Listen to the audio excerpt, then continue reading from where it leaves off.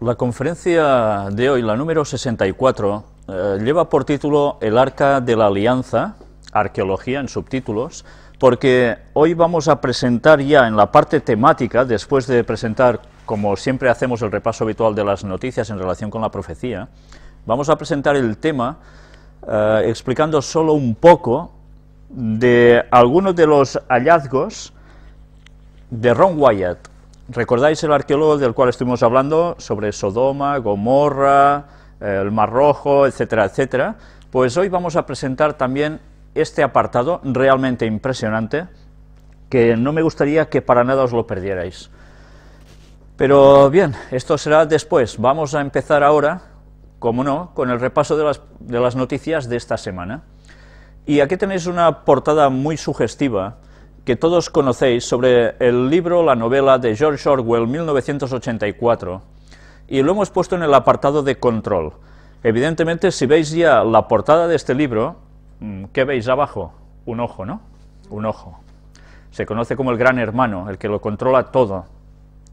Pues bien, antes de entrar en el apartado de control estrictamente, quisiera comentaros algo que llama mucho la atención. Esto es un texto bíblico que aparece en Segunda de Crónicas, capítulo 16 y versículo 9. Porque los ojos de Jehová contemplan toda la tierra para mostrar su poder a favor de los que tienen corazón perfecto para con él. El versículo sigue, hablando de otras cosas, pero me gustaría que os fijaseis en cómo describe aquí los ojos de Jehová que contemplan toda la tierra para mostrar su poder a favor de los que tienen corazón perfecto para con él. Jehová está pendiente de su pueblo, está pendiente de todo, pero en especial de su pueblo. Pero ¿a través de qué modo se simboliza esto? Pues describiendo los ojos de Jehová. Si los ojos de Jehová son los que verdaderamente lo observan todo, lo controlan todo, ¿Qué haría el diablo? ¿Qué haría Satanás? Hemos presentado numerosas veces ya en estas conferencias cómo Satanás siempre plagia, copia lo de Dios, no se inventa nada, sencillamente lo tuerce hacia su costado. Y así está haciendo sucumbir a través de doctrinas que la gente cree que son correctas y son erróneas, va cambiando el perfil de la auténtica creencia para llevar al mundo a su terreno y todo de un modo realmente sutil. Pues si Satanás copia lo de Dios, aquí tenéis una prueba de ello. Los ojos de Jehová hemos visto en el texto. Aquí tenemos una ilustración típica de la Declaración sobre los Derechos Humanos, donde en la parte superior ya veis el famoso triangulito con un ojo iluminado alrededor, que claro, enseguida que pensamos, Dios, ¿no? Bueno, esto lo hemos presentado ya desde la primera conferencia. Abajo tenéis la ampliación, aquí en amarillo, y cómo no, si recordamos, en el billete del dólar aparece exactamente lo mismo. Este es el símil de Satanás, este es el plagio de Satanás. Él también lo controla todo. Los derechos humanos, algo que parece muy, muy bien, muy bonito, pero ¿qué hacen en el fondo? Pues los derechos humanos se apoyan en los diez mandamientos bíblicos tal cual. No, no exactamente porque esto procedió de la masonería.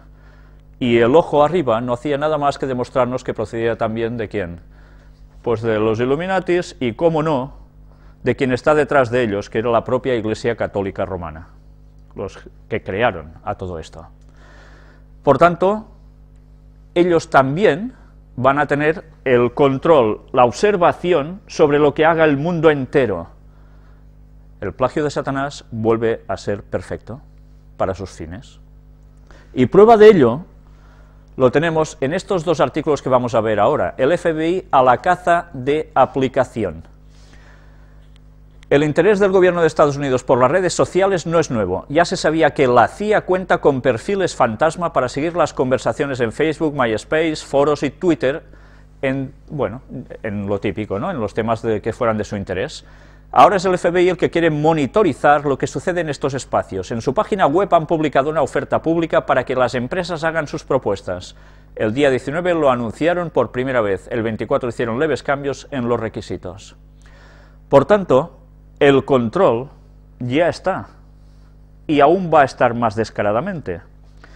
Y este es el ojo que todo lo ve, porque ellos sirven a sus fines. Claro que evidentemente nos van a vender siempre que es eh, para eh, poder detener a personas que no están haciendo lo correcto, etcétera, etcétera. Claro, eso también es cierto, solo faltaba. Pero evidentemente sirve para otros propósitos. Y vamos a ver hasta qué punto llega precisamente esto en esta otra noticia que veréis aquí. Les prohíben la entrada en Estados Unidos porque bromearon en Twitter sobre destruir América.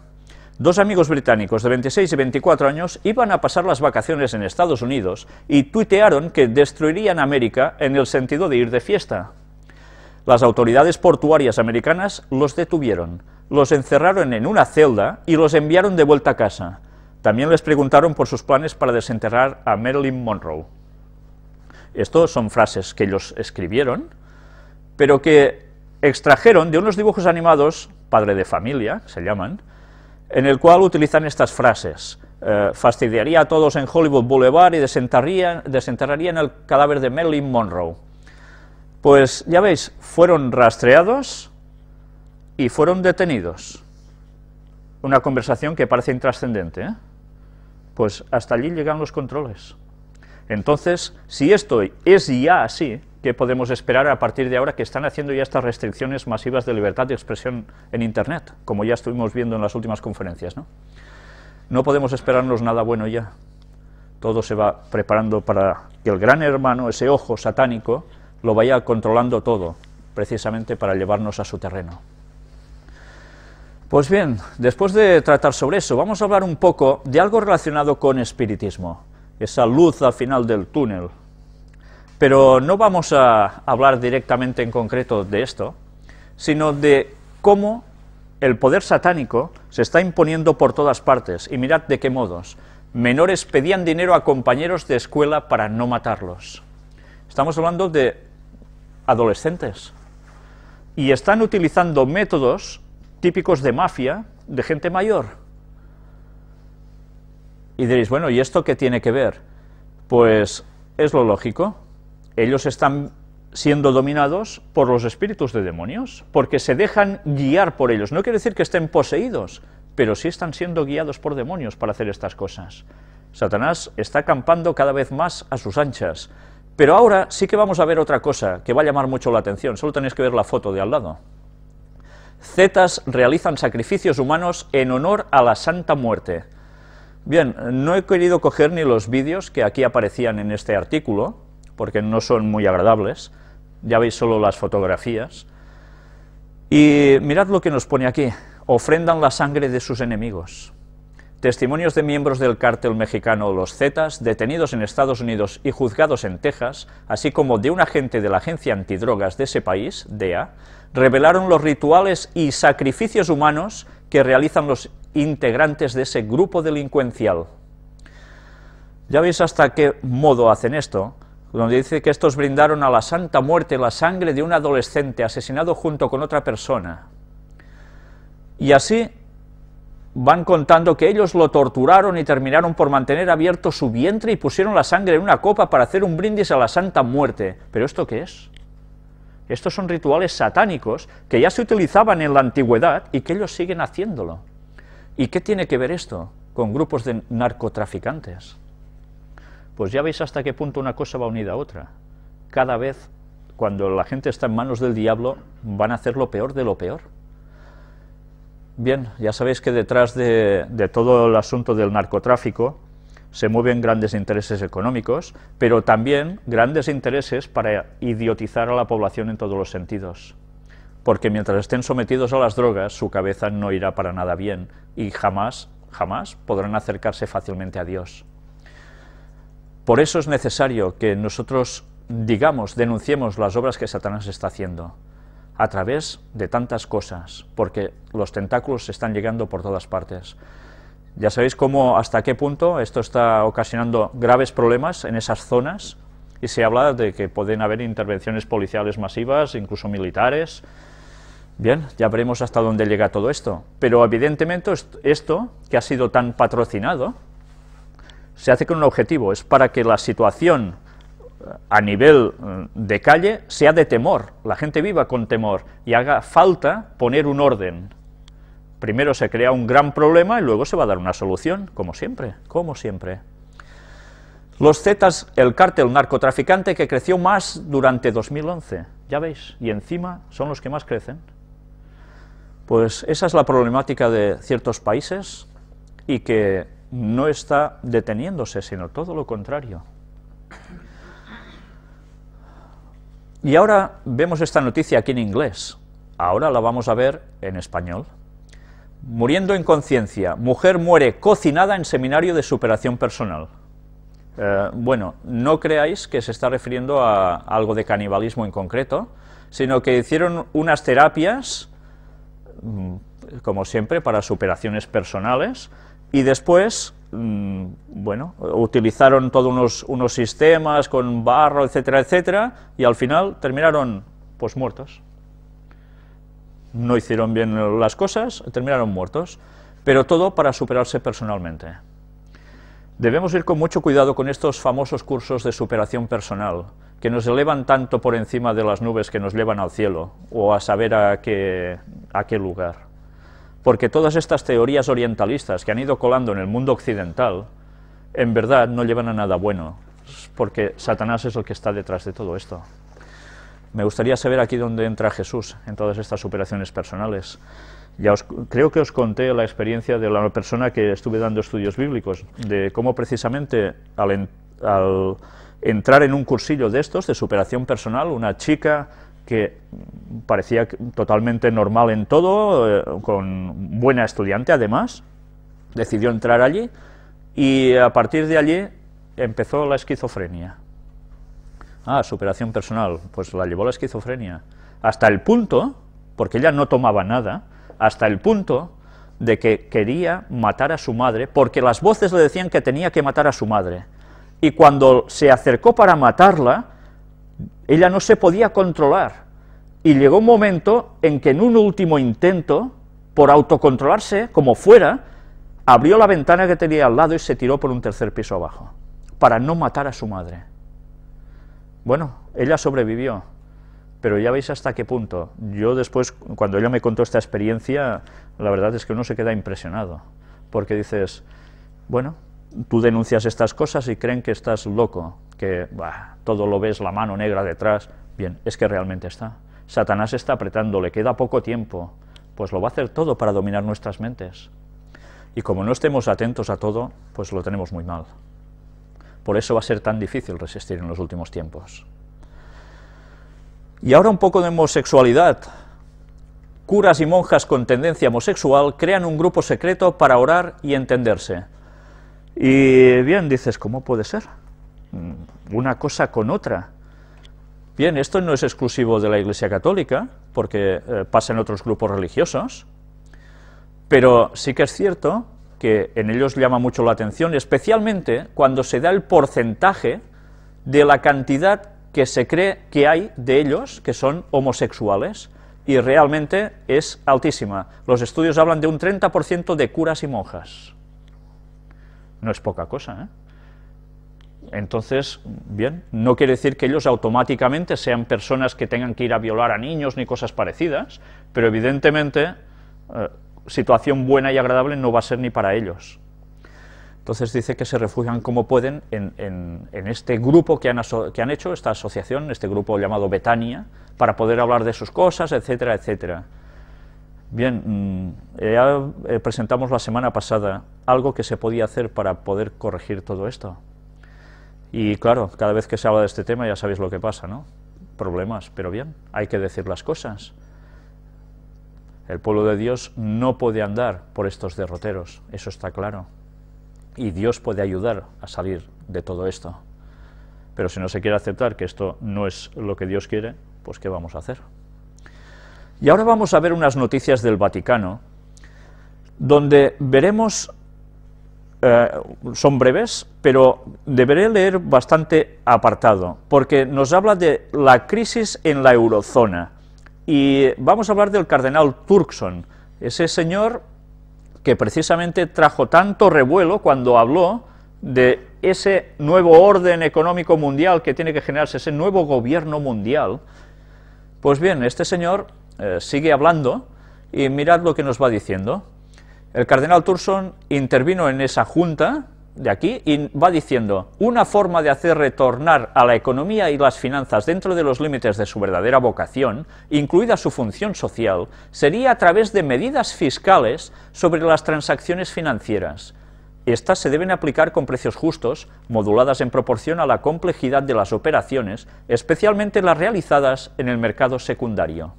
Este tipo de FTT sería muy útil para promover el desarrollo global y la sostenibilidad, según los principios de justicia social y solidaridad. También podría contribuir a la creación de un fondo de reserva mundial para apoyar las economías de los países afectados por la crisis, así como en la recuperación de sus sistemas monetarios y financieros. Ya veis qué bien habla, ¿eh? Que, bueno, está dando una solución perfecta para el mundo, a nivel económico. Es curioso, ¿eh? Porque ellos son religiosos, pero están hablando de economía, como que esto lo tienen que aplicar los gobiernos del mundo. Y bien, sigue hablando, y aquí ahora el obispo Arnold también dice, los seres humanos son a la vez el origen y el fin de toda actividad económica. Tenemos que reformar los mercados financieros para que puedan servir al bienestar humano y a la sociedad. ¿Y qué están diciendo los políticos actualmente? Cuando vemos cumbres que están haciendo tan importantes, lo mismo, las mismas palabras. Pues, ¿qué hemos de esperar de todo esto? Mirad incluso hasta dónde llega cuando el presidente de CITSE, Chris Vine, dijo la adopción de una FTT a nivel de la Unión Europea es lo correcto que debe hacerse. Tiene el potencial para recaudar fondos que financien proyectos de desarrollo y de cambio climático, mira por dónde sale, y poner en marcha medidas para una mayor justicia y equidad. No hay que recuperar el crecimiento económico a toda costa, el modelo usual de negocio que protege los intereses de unos pocos. Los escépticos deben darse cuenta de que un impuesto sobre las transacciones financieras podría ser un avance hacia la estabilización de los sistemas financieros y la lucha contra la pobreza en algunos de los países más vulnerables del mundo. ¿Sus consejos son buenos o no? Caray, visto así es perfecto, ¿verdad? Pero ya veis cómo ellos están condicionando ya y diciendo a los políticos lo que deben hacer. Teóricamente es religión, no se ponen con política. Pues caray, qué cosas. Y todo ya sabemos para qué. Es curioso cuando nosotros pensamos que este señor dijo lo del gobierno mundial, se suscitó una polémica, pero él ya lo había soltado, haciendo ver de que no, no, eh, decía en el Vaticano, esto lo ha dicho por su cuenta, nada tiene que ver, ya levantaron la liebre. Y ahora dice esto, que los políticos también están hablando, que hace falta esta autoridad mundial que lo controle todo. Pues bien, él está marcando los pasos a seguir para que todo funcione bien. No es nada más que una continuación de lo que ya había dicho antes. Todo irá por pasos, evidentemente. Y ahora aquí nos dice otros jóvenes desde la familia, cómo educar en la justicia y la paz. Y en este artículo se nos habla de lo mal que están las familias. Entonces, una vez más, se nos está diciendo que es necesario, y con frases de Benedicto XVI, que hay que hacer algo para todo esto. En las familias donde los hijos aprenden los valores humanos y cristianos que permiten una convivencia constructiva y pacífica. En las familias donde se aprende la solidaridad entre las generaciones, el respeto de las reglas, el perdón y la acogida del otro. Ella es la primera escuela donde se recibe educación para la justicia y la paz. ¿Es mentira esto? No, es verdad. ¿Qué va a hacer con esto? Pues recordemos, ¿qué se va a hacer en Milán en este año 2012? ¿El encuentro de qué? De las familias, pero va a hablar sobre qué más? El trabajo y el día de fiesta, para preparar el terreno a la ley dominical, para que se apruebe el domingo como día de reposo exclusivo. Bien, todo se está preparando progresivamente. Ellos jamás van a poner un dictamen si antes no han hecho los pasos previos, porque no podrían. Es necesario ir preparando la sociedad. Y lo están haciendo a la perfección. Sus propuestas están comenzando a marcar entre los políticos. tarde o temprano, vamos a ver la sorpresa de la ley dominical, y parece ser más temprano que tarde. Pobreza y violencia, los dos grandes retos de Guatemala. Y diréis, bueno, ¿y Guatemala qué tiene que ver con todo esto? Pues nos está hablando, cómo no, sobre la nueva evangelización y todo lo que deben hacer para conseguir, una vez más, que las mentalidades cambien. Es un artículo interesante, no voy a entraros en detalles para ganar un poco de tiempo, pero en todas partes siempre nos, señalan la institución familiar como una base para todo. Y es cierto, es la mejor forma para que, mirad aquí, estas causas afirman son la falta de ética y moral, tanto en la gestión pública como en las acciones de los ciudadanos que últimamente se enraizan en la idolatría al dinero, al poder y al placer. La moral. Recordemos la profecía lo que decía, a través de la moral van a conseguir todo, todo. Y ahora, esta otra noticia, los nuevos herejes, medidas contra la libertad religiosa en Estados Unidos. Es curioso, porque ellos están hablando que son los líderes de la libertad religiosa a nivel mundial. Es curioso, cuando nosotros pensamos en la historia de la Iglesia Católica, que ha sido precisamente todo lo contrario. ¿Por qué ahora ellos hablan tanto de poner la libertad religiosa de un modo tan claro. Evidentemente ellos son los líderes de la moral, son los que todas las religiones cristianas incluso se pueden reflejar, porque sin miedo a tapujos se presentan como lo que hay que hacer. Y el resto de cristianos lo apoyan. Si estáis siguiendo las elecciones en Estados Unidos, eh, veréis cómo precisamente los mensajes sobre moral están saliendo uno detrás de otro. ¿Y esto a qué posiciones se está acercando? Pues a que evangélicos y católicos, incluidos mormones, empiecen no a, votar a una persona por su creencia o por su religión concreta, sino porque hay una serie de mensajes que van bien en común a todos. Y eso se consigue a través de la moral. Está preparándose el terreno para que cojan el poder en Estados Unidos de un modo tan claro que finalmente, ¿qué suceda? pues que entre la ley dominical allí. Todo el artículo es muy interesante, no tiene desperdicio, pero por eso os lo paso un poco despacio para que lo podáis ir viendo en vuestras casas. Pero mirad si ha sido fuerte eh, la polémica que ellos están generando en Estados Unidos, que luego veremos unas noticias que tienen mucho que ver con esto. Quedaos en la mente con lo que os he dicho ahora, porque después vamos a verlo. Y mientras tanto, ¿recordáis que estuvimos hablando de unas ciertas ciudades en Europa que iban a hacer grandes cosas, entre ellas Barcelona, a nivel religioso, para la nueva evangelización? Pues ahora ya no son esas pocas ciudades, sino que ya son 72 ciudades de Europa importantes las que se han añadido a este proyecto. Mirad cómo se irá trabajando para cambiar la mentalidad de la población. Lo curioso eh, ¿Cuándo se inaugurará ese año de la fe que ellos dicen por parte de Benedicto XVI? El día 11 de octubre. Aprobado por su ley divina, o sea, aprobado por ley satánica en verdad, no la de Dios. Pero ya ves, utilizan los mismos números con los significados que ya sabemos para los números. Casi nada. Aquí tenéis, como nos lo dice, 72 grandes ciudades de Europa. Pero no quiero que os perdáis esta otra frase. Impresiona positivamente la aprobación unánime que ha encontrado mi propuesta de extender al año 2013 esta experiencia. Su propuesta, ¿eh? Pues bien, se están añadiendo. Y esto implica a toda una ciudad, no es poca cosa. El Vaticano pagará un impuesto a la propiedad en Israel. Anda, diréis, qué bien, ¿no? Eh, mira, por fin pagan algo.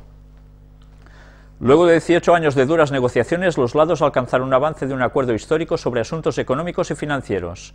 Además, la Iglesia Católica aceptó renunciar a su demanda de recibir la soberanía sobre el cenáculo, el lugar donde se llevó a cabo la última cena en el monte Zion. Luego de 18 años de duras negociaciones, la Iglesia Católica aceptó renunciar a su demanda de recibir la soberanía sobre el cenáculo, el lugar donde se llevó a cabo la última cena, en el monte de Sion de Jerusalén. A cambio, Israel aceptó considerar entregarle a la Iglesia acceso al lugar e incluso considerar una opción de alquiler. También se arregló que el Vaticano comenzara a pagar un impuesto a la propiedad, reducido por sus activos en Israel. A través de los años, Israel sufrió la pérdida de cientos de millones de shekels debido a la negativa del Vaticano de pagar el impuesto. Los entendimientos se alcanzaron en un encuentro mantenido el fin de semana pasado entre el ministro de Relaciones Exteriores de Israel, Dani Ayalon, y el vicecanciller del Vaticano. Ambos lados informaron que los funcionarios habían alcanzado un acuerdo de avance que comenzará a implementarse para finalizar las, las negociaciones del acuerdo. ¿Creéis que esto es a cambio de nada? Estos son negociaciones, son acuerdos. Por tanto, no podemos esperar otra cosa que ellos sacan un beneficio por otro lado. Es lógico, eh, las cosas, ellos no accederán porque sí, hay algo más. Ya sabéis que últimamente las negociaciones, como presentamos también la semana anterior, la última vez lo que están haciendo es negociar continuamente en todos los asuntos entre Vaticano e Israel. Y esto es realmente importante porque están preparándose el terreno para ellos poderse desplazar en peso allí, a Jerusalén. Y ahora vamos a hablar sobre crisis. Sanz elogia al primer ministro italiano Monti por su catolicismo. Mario Monti estamos hablando, del cual ya vimos a qué grupos había pertenecido y cómo él estaba en los grupos que estaban hundiendo la economía a nivel mundial, generando la crisis, y ahora, eh, además, nos lo ensalzan. No queremos partidos políticos cristianos, pero sí reconocer a los cristianos en los partidos, manifiesta el arzobispo. Y mirad hasta qué punto sus frases son elocuentes. El arzobispo de Oviedo, Jesús Sáenz Montes, elogia en su última carta semanal la figura de Mario Monti, primer ministro y ministro de Economía de Italia, que no esconde su condición de cristiano ante la grave y difícil responsabilidad que tiene el país vecino. El mitrado asturiano destaca en su misiva que Monti contribuye a revalorizar las raíces cristianas de Europa para superar la grave coyuntura que vive el continente. Sanz destaca las palabras pronunciadas por el político italiano en una entrevista de Radio Vaticano, en la que afirmaba que la crisis para ser superada en todos sus graves perfiles, requiere mirar adelante con valentía, con esperanza, pero también redescubrir las propias raíces. Por tanto, las raíces cristianas de Europa, ¿no recuerda esto que alguien lo dijo ya antes? El Papa estuvo hablando continuamente de eso cuando se hizo el Tratado de Lisboa y lo ha ido, bueno, una y otra vez insistiendo en ello. Pues ahora resulta que a Mario Monti, que había hecho todo lo que había hecho, se lo alaba porque teóricamente con ese proceder van a ayudar a salir de la crisis. Y además, ¿a través de qué? Ya lo veis, de las raíces cristianas de Europa. Por tanto, ¿qué podemos esperar?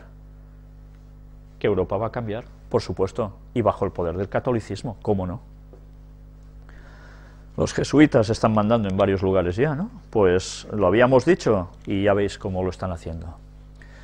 Y mientras tanto, otra cosa que a veces pasa casi desapercibido en nuestra parte de Europa, autoritarismo en Hungría ante la pasividad de la Unión Europea. La Constitución húngara anula el derecho de huelga y obliga a parados a emplearse en campos de trabajo, pero la Unión Europea solo ha cuestionado lo referente a la competencia del Banco Central. La mano dura parece ser que está volviendo. Y evidentemente, cuando hay mano dura, hay represión. Y si hay represión, ¿qué va a haber también? ¿Represión de qué? ¿Solo de, por el trabajo ya está? Evidentemente, eh, fijaos cómo aquí incluso se habla de algo interesante.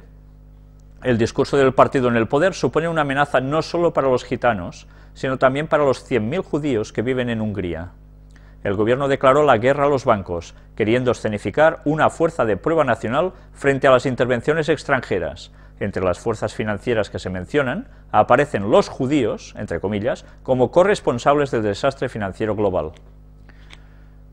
Están denunciando algo, pero que puede tener unas consecuencias bastante fuertes. Todo esto está pasando desapercibido en el resto de Europa, parece ser que no nos enteramos de estas cosas, pero esto está marcando ya, delimitando algo a nivel también religioso. Por tanto, vigilemos y estemos atentos porque las libertades se irán suspendiendo. Y mientras en Francia Sarkozy anuncia una subida del IVA y un impuesto sobre transacciones financieras, y no solo esto, mirad, esta subida del IVA de 1,6 puntos entrará en vigor el 1 de octubre, irá destinada a financiar la protección social. Propone derogar la semana laboral de 35 horas, que había sido todo un, éxito conseguido en Francia, para que las empresas en apuros puedan aumentar el horario de trabajo sin tener que subir salarios. O sea que, más claro no te lo pueden decir, trabajarás más y, y cobrarás lo mismo. Y, cuidado, porque aún tendrás que pagar más otras cosas.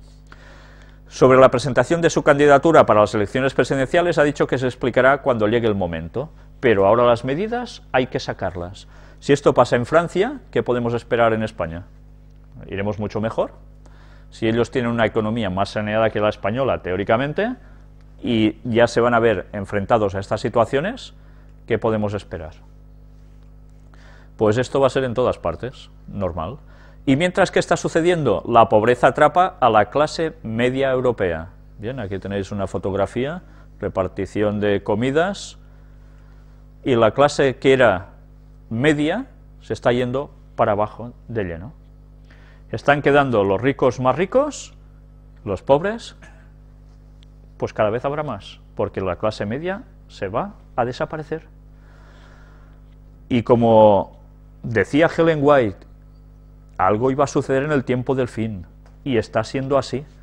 La diferencia entre el poder está marcando que las personas tendrán que pasar por el aro si quieren subsistir, y así es como se podrán aplicar las leyes que la Iglesia Católica tan contenta estará de aplicar, como es la ley dominical. ¿Darán trabajo? Sí, pero ¿a cambio de qué? Pasar por lo que ellos quieren. Y si no quieres, pues tendrás los problemas. Y no, no, que el sábado es el día de Dios, sí, bueno, pues el sábado es el día de Dios, vas a tener problemas. La, la cosa no se va a poner jamás, nunca, de un día para otro. Todo tiene su proceso. Rajoy, el presidente de España actual, la reforma laboral nos va a costar una huelga.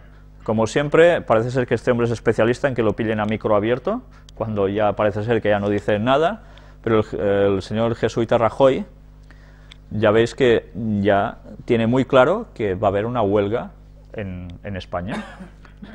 ¿Por qué? Pues muy, muy fácil. Muchas de las decisiones que vamos a tomar no le van a gustar a mucha gente. ¿Qué creéis? ¿Que España irá mejor este año? ¿Que la economía mm, saldrá adelante? Ya sabemos que no. Entonces, tened claro que esta gran crisis es la que estaba predicha. Por supuesto, porque está cumpliendo todos los requisitos de la profecía.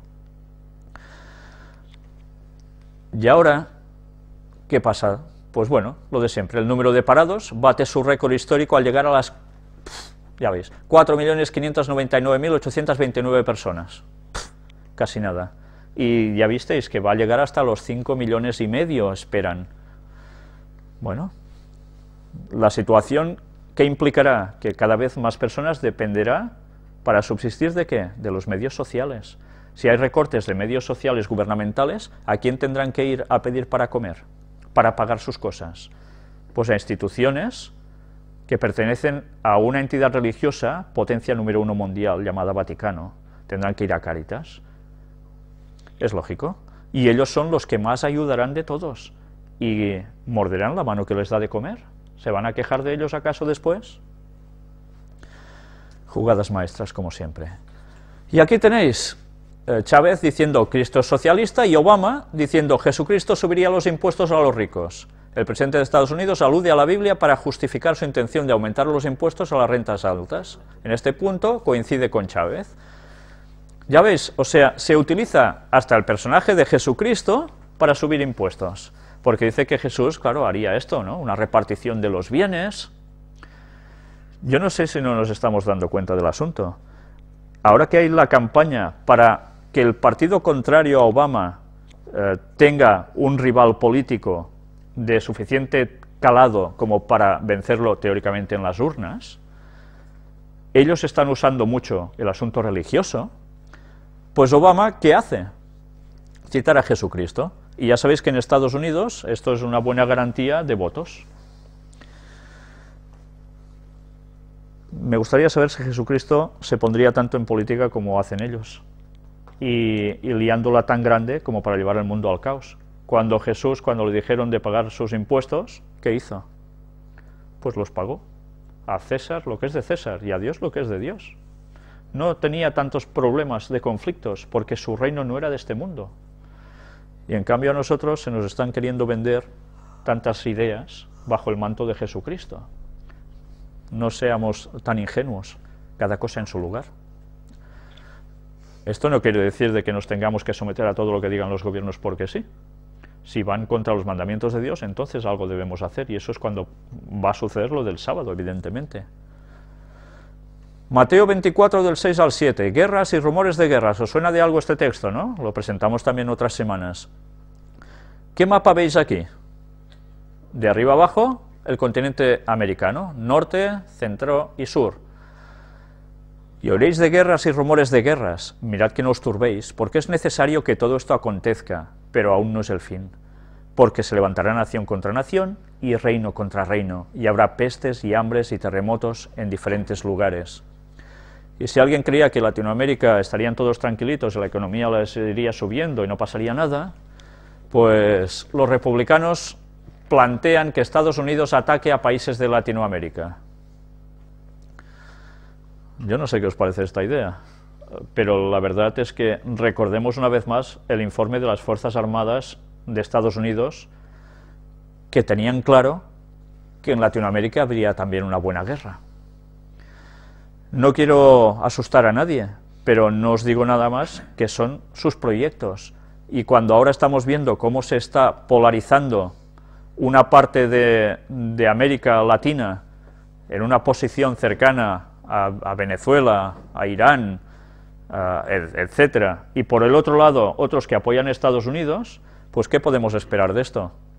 Evidentemente un conflicto el catolicismo había perdido un gran peso en, esa zona, pues de algún modo va a recuperarlo, y tanto que sí. Isaías 17 del 1 al 3, famoso texto, profecía sobre Damasco, que la venimos repitiendo continuamente, Damasco dejará de ser ciudad y será montón de ruinas. Esa profecía no cumplida aún, pues bien, vamos a ver, Lavrov, el Consejo de Seguridad nunca aprobará una intervención militar contra Damasco. Esto es lo que pretendían, una intervención militar contra Damasco. Rusia se está oponiendo a ello. Por eso la situación se está aguantando, pero ya veis que, por lo que nos están contando en las noticias, están habiendo masacres diarias en esa zona. Mientras tanto, Al-Assad, el presidente, está diciendo que ellos no son los culpables de esto, sino que es una magno negra occidental que está puesta allí para crear estas contiendas y así pedir una intervención. Hoy precisamente se está hablando en una reunión de qué terminarán de aprobar, qué acuerdo harán finalmente para Siria. Estemos pendientes de ello, pero ya sabéis que Siria, tarde o temprano, Damasco, su capital, va a cumplir la profecía. La verdad es que si conocéis a alguien de allí, estaría bien que estaría bien que les dijeseis, eh, yo me iría de, Damasco, por si acaso. Pues bien, ahora vamos a entrar un vídeo, que es una entrevista a Nagam Salman, experta en Oriente Medio. Es muy interesante lo que esta eh, señora nos va a decir. Vamos a... aún más en el tema sirio, vamos a conectar ahora con la experta en Oriente Medio, Nagam Salman, en directo. Hola, ¿qué tal, Nagam? Buenos días, gracias por atendernos. Bueno, con las nuevas declaraciones del ministro de Relaciones Exteriores, Sergei Lavrov, parece que Rusia no va a cambiar su postura sobre el caso sirio, lo está confirmando. Según esto, eh, ¿podría empujar a Occidente a analizar un cambio de su posición sobre el tema durante la sesión del Consejo de Seguridad? Hola, buenos días, Ignacio. Eh, primero, Rusia, yo creo que Rusia no va a cambiar su posición y las declaraciones del ministro de Asuntos Exteriores muestran muy bien la posición de Rusia, que está contra cualquier solución que permite una intervención externa en el país. además, Rusia, o sea, lleva unos días que se mantiene de una posición eh, a pesar de todas las presiones que ha recibido de unos países árabes o extranjeros. Yo creo que eh, Occidente no va a cambiar o, eso no va a empujar a Occidente de eh, hacer unos cambios por, por, el tema de Siria, sino seguramente Rusia va a recibir unas presiones, más presiones durante, después de la sesión y durante estos dos días que vienen para, con la esperanza que cambie Rusia de su posición o poner más presión al gobierno de Bashar al-Assad. Ahora, Nagam, ¿por qué Occidente insta al derrocamiento del régimen sirio permanentemente y no a solucionar esto por la vía del diálogo? ¿Por qué la obsesión con la figura de Bashar al-Assad? ¿Qué es lo que no les conviene de la figura del presidente?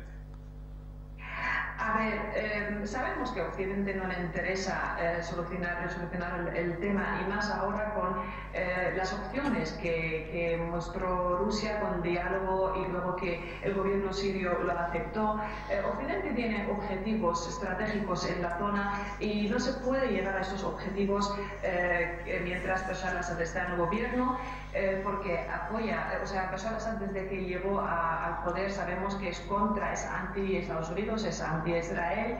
Y, esta figura pues no, no, no, le conviene a Occidente y por eso tienen esta, digamos, esta manía con, con la figura de Bashar al-Assad y cuando caiga este gobierno, cuando caiga eh, este, esta figura, pues caerá la figura de Ahmadinejad, caerá la figura de Hassan Nasrallah, eh, el secretario general de Hezbollah en el Líbano, y así pues llegarán a sus objetivos estratégicos en, en, Oriente Medio y también dejarán a Israel en paz. Y esto es, es digamos, el motivo más importante detrás de, de, esta eh, existencia contra, contra Bashar al-Assad.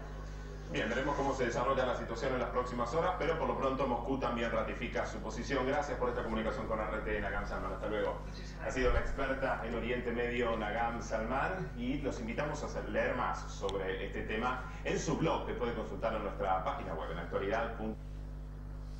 Bien, ya habéis visto en esta entrevista que esta experta habla muy claramente de que a alguien no le interesa que Al-Assad esté allí porque es anti-israelita y, todo se hace para evitar, pues eso, que Israel eh, sufra daños.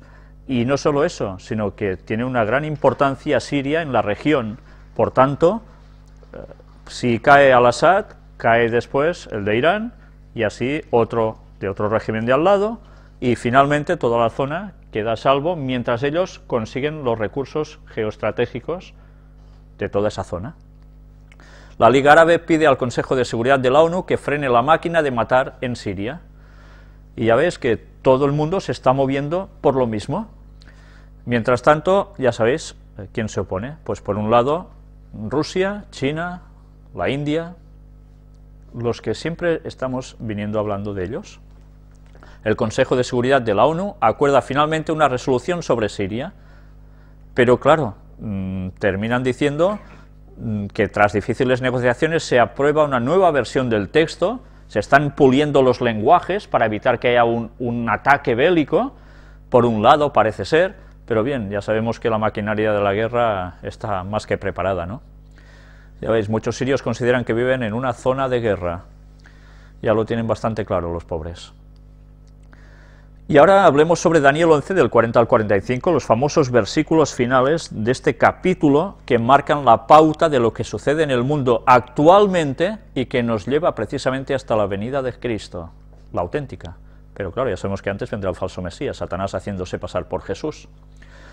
El texto ya lo tenéis aquí presente, cada vez lo repetimos continuamente, y mirad qué cosa tan interesante. Aquí tenéis todos los gasoductos llevan a Ceilán, y hay un país, que veis aquí remarcado en un color más intenso, que es Turquía. No sé si os estáis dando cuenta de todo lo que circula a través de ese país. Todo esto son gasoductos, todo lo que veis en estas líneas. Curiosamente, Turquía, que teóricamente ahora no debería tener gran importancia a nivel mundial, La está teniendo de lleno. Porque por ese país está pasando y va a pasar, incluidos los contratos que han aprobado actualmente, hace muy recientemente, una cantidad de gas, de petróleo, tan importante, que ellos son los que en esa situación se han convertido en lugar geoestratégico perfecto. Por tanto, si ellos se asocian con Occidente, Occidente teóricamente iría bien. Si ellos se asocian más con el lado eh, soviético, o ruso, árabe, ¿quién va a salir perjudicado con todo esto si hay problemas? El mundo occidental. Por tanto, Turquía ha pasado a tener un gran papel en la zona.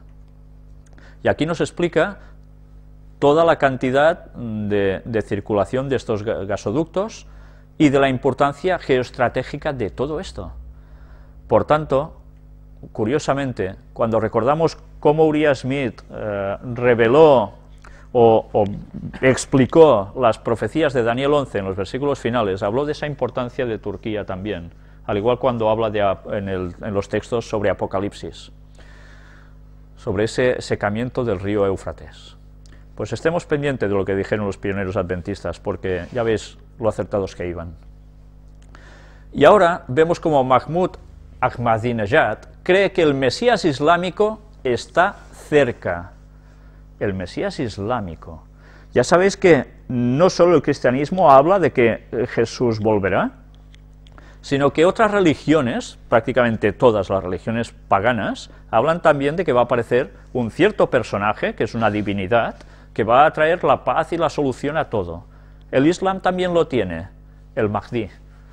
Vamos a ver eh, que ellos están esperando una cierta situación para que eso suceda. Y es precisamente la situación que se está viviendo ahora. Cuando uno ve que ellos hablan en este sentido, ya podemos empezar a prepararnos, porque lógicamente nos están diciendo de que la venida del falso Mesías se acerca. Y eso va a ser un vínculo de unidad para todos tremendo, y eso va a surgir después de un conflicto bélico. Por tanto, estemos atentos, porque el momento se está acercando, no está tan lejano en la historia, y toda la gente va a sucumbir a ese engaño. Y él va a decir después que el domingo es el día de reposo para todo el mundo, y no el sábado. Y habrá la persecución de los auténticos fieles de Dios, que guardan los diez mandamientos, incluido el sábado. Pues bien, vamos a ver ahora este vídeo hablando sobre el Mesías islámico.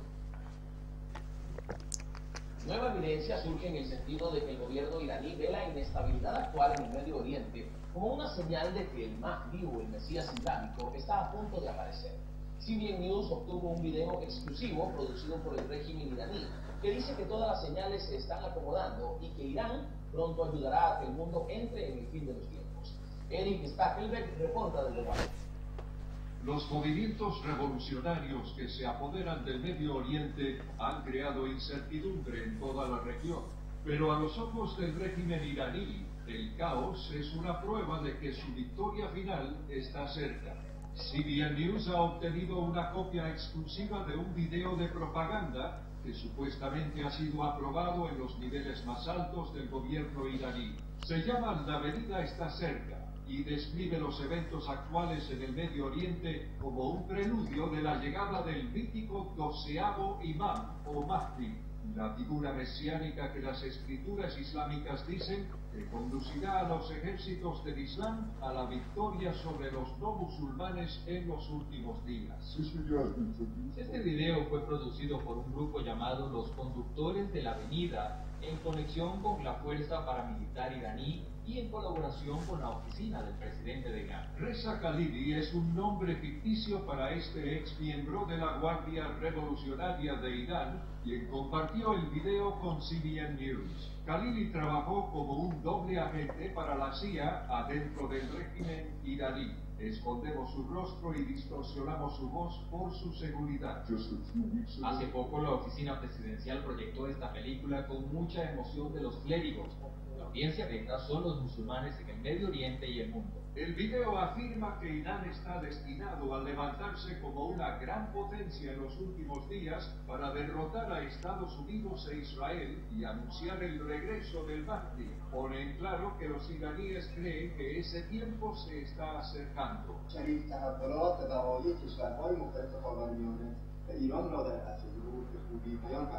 El video dice que la invasión estadounidense a Irak fue anunciada por las escrituras islámicas y que el Mahdi gobernará al mundo en un día cercano desde Irak.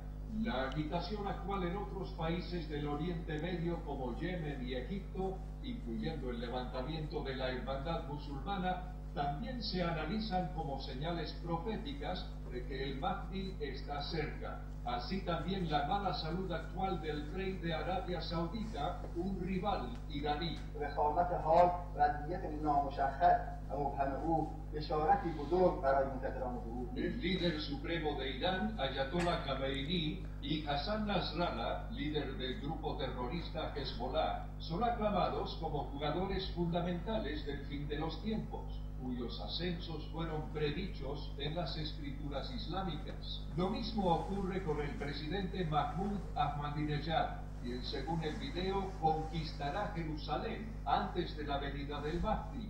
Joel Rosenberg, experto en el Medio Oriente, es autor del libro El duodécimo imán. Creo que es un desarrollo muy grave. Ofrece una ventana al pensamiento del liderazgo iraní. Ellos creen que el tiempo de guerra contra Israel puede ser incluso antes de lo que muchos imaginaron. Khalili dice que el video pronto será distribuido por el régimen iraní por todo el Medio Oriente. Explicó que su objetivo es instigar a más levantamientos en los países árabes. Eric Stakovec, CBN News, Washington. Pues no sé cómo os habéis quedado después de ver este vídeo.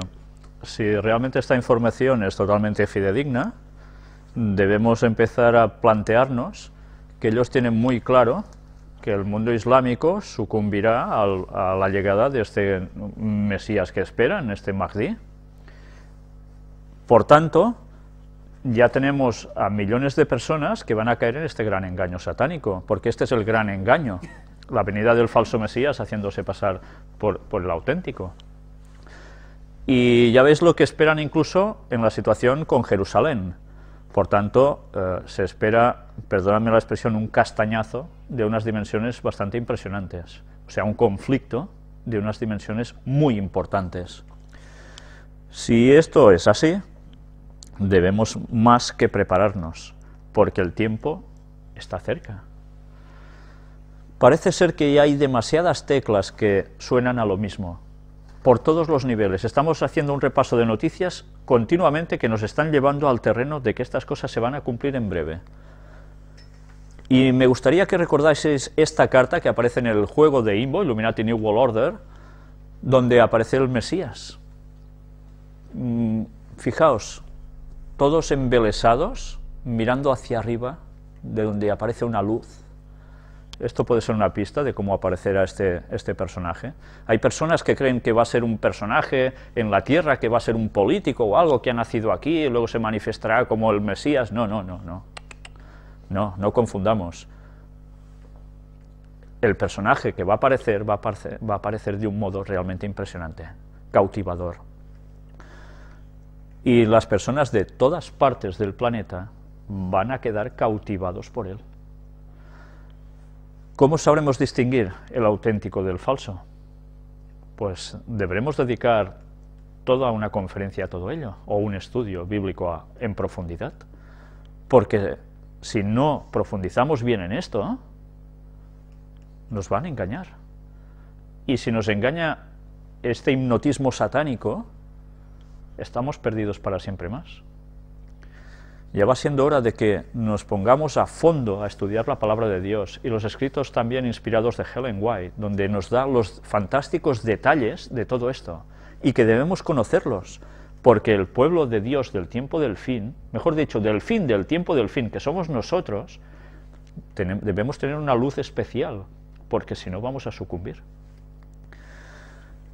Y mientras tanto, aquí tenéis esta noticia en inglés, ya habéis visto tres personajes en cuestión, el de Irán, el de Rusia y también el otro señor de Irán. Irán da un 64% de su petróleo, nuevos y masivos, a cambio de la protección rusa de régimen en caso de enfrentamiento con la oposición nacional o importado de fuera. Irán, ¿quién tiene en apoyo a ellos? A cambio de petróleo, el apoyo ruso. Mirad que lo curioso de todo es que el mundo se está moviendo en verdad por el petróleo, por el gas. Y eso estaba profetizado. Es curioso. Y ahora todo está sucediendo tal cual. En las primeras conferencias mostramos cómo eh, gente había escrito sobre las profecías diciendo estas cosas y se los tomaba un poco a pitorreo. Pues ahora estamos viendo el cumplimiento de todo esto a la perfección, años y años después. Cuando ellos escribieron esas cosas, el petróleo prácticamente servía para muy pocas cositas en este mundo. Y después de todos estos años estamos viendo la importancia que está teniendo. Pues no se equivocaron de mucho, ¿no? precisamente de nada, mejor dicho. Aquí tenéis todo el artículo, es muy extenso, pero vale la pena que lo leáis, porque va dando datos importantes de toda la región. Y mientras tanto, ¿qué más ha sucedido esta semana? Los hermanos musulmanes acusan a los fieles a Mubarak de la tragedia en Port Said. ¿Visteis ese partido de fútbol en Egipto? Un partido de liga que terminó con la victoria del equipo visitante, empezó a bajar gente de las gradas, eh, se dieron de todo menos besos. ¿Y cómo terminó todo? Con muchos muertos, gran cantidad de heridos, y no terminó solo con ese partido, viendo además que la policía no actuaba para nada, sino que cada día están habiendo más muertes debido a todo esto. Y que se están acusando de que hubo una mano negra detrás de todo esto, de todos estos incidentes, que fue provocado, están diciendo, para crear y generar un clima de esa gran violencia en ese lugar, ¿para qué? Para desestabilizar Egipto. Bien, ya dijimos que estábamos viviendo las primeras escenas de un drama, tal como dijo Kinsinger, pero que eso eran las primeras escenas, luego vendría todo el plato fuerte de esa obra. Y es lo que nos está esperando aún. No podemos esperar grandes cosas en Oriente Medio, pero de allí todo el mundo va a verse implicado. Y atención a esta noticia, Estados Unidos cree que puede ser en primavera. Israel se prepara para un posible ataque contra Irán. El secretario de Defensa de Estados Unidos trabaja con la certeza de que Israel está planeando un ataque contra Irán en primavera. ¿Será verdad? ¿Será una noticia de estas que, expresan para eh, que haya más confusión? Bien, no lo sabemos a ciencia cierta, pero es una opción. Israel podría llegar a hacer esto. Y si esto sucede, ya os podéis imaginar qué pasaría con el resto de países árabes.